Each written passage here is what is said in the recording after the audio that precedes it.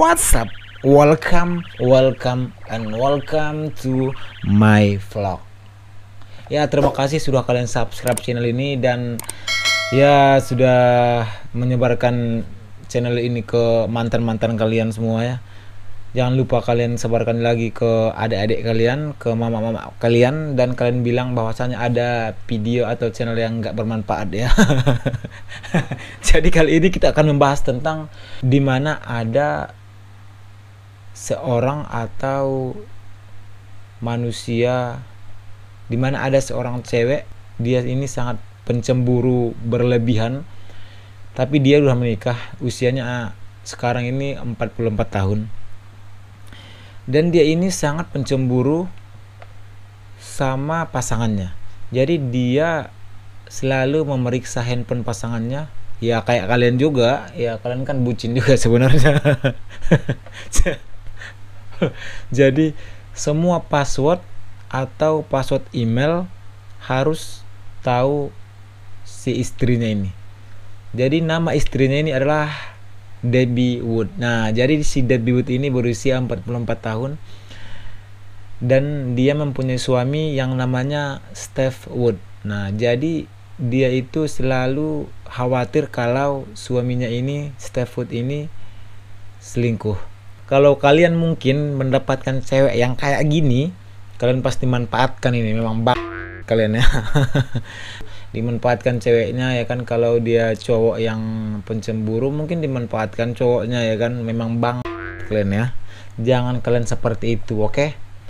semua aktivitas selalu dijaga handphone selalu disadap dan selalu ditanya selalu ditanya sama siapa dia hari ini dan bahkan si, si istrinya ini membuat deteksi kebohongan. Bayangkan kalian itu punya pasangan kalian itu dideteksi kebohongan jadi kalian pulang ke rumah kamu sama siapa tadi? Kamu sama siapa? Kamu sama siapa? Kamu sama siapa? Kamu ngomong sama siapa? Oh my god man. Tapi kalau mungkin ada keterbiasaan tapi kalau kita mungkin yang biasanya sehari-hari itu nggak seperti itu mungkin kita akan terganggu mungkin ya. Nah jadi si Stefood ini membuat alat deteksi kebohongan alat penyadap handphone dan yang paling parahnya si Deadwood ini tidak memperbolehkan suaminya menonton televisi. Kalau bukan menonton Flora dan Fauna. Nah, jadi kalian itu diperbolehkan untuk menonton binatang-binatang seperti monyet, oh babi mungkin, oh anjing mungkin.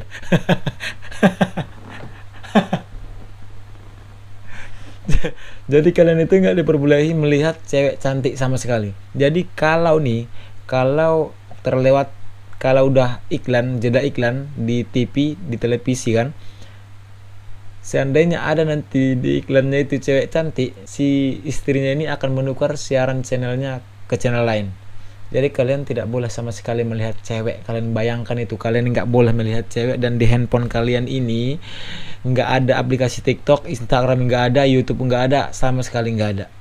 Kalian bayangkan di zaman teknologi ini kalian nggak punya apa-apa ya. Oh my god. Nggak bisa nonton ya nonton dangdut ya.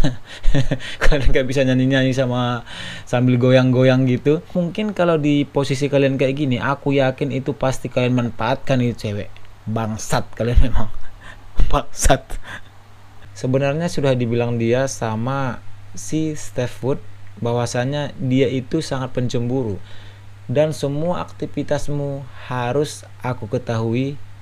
Dan semua yang kamu lakukan semua semuanya. Saya sudah dibilang si Debbie Wood ini. Jadi si suaminya ini si Steph Wood ini memang sudah bilang bahwasanya dia itu tidak akan meninggalkan si Debbie Wood karena dia juga sangat mencintai si Debbie Wood ini. Dia tidak boleh melihat cewek cantik kalau seandainya si Steph Wood ini si suaminya ini melihat cewek cantik, si Debbie Wood ini tidak akan bisa tidur sampai berhari-hari karena dia akan takut kehilangan atau takut si suaminya ini selingkuh dengan orang lain men. Dan ternyata si Debbie Wood ini mempunyai penyakit sindrom dan sindrom ini namanya Otello syndrome di mana sindrom ini merasa takut kehilangan sesuatu. Othello syndrome ini mental atau rasa takut yang sangat berlebihan kehilangan sesuatu dalam dirinya. Nah, jadi di si debut ini memang mengidap penyakit yang namanya Othello syndrome. Sampai di sini dulu video family friendly kita kali ini dan mudah-mudahan kalian tambah pintar ya dan kalian jaga pasangan kalian supaya nggak selingkuh oke okay? karena zaman sekarang ini zaman zaman yang mudah selingkuh ya ya ya you know lah karena sekarang ini banyak TikTok jadi TikTok itu membuat orang tidak mau oh, menikah ya karena di situ banyak yang yang yang yang seksi seksi oke okay? Oke jangan lupa kalian subscribe channel ini dan I love you untuk kalian semua men. Assalamualaikum warahmatullahi wabarakatuh